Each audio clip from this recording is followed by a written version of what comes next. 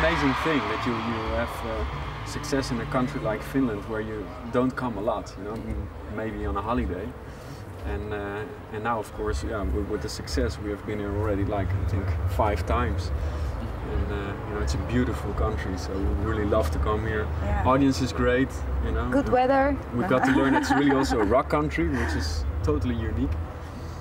And uh, no, yeah, it's really nice. Absolutely.